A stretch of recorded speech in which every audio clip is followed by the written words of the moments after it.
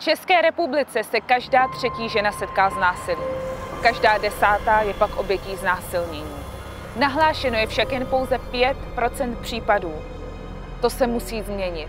Ne se rovná prostě ne. Oběť musí najít bezpečné útočiště, zajistíme dostupnost asilových domů, zasadíme se o osvětu a vzdělávání a především redefinujeme trestný čin znásilnění. Není nám to ukradený. Půjdeme k volbám. 8. a 9. října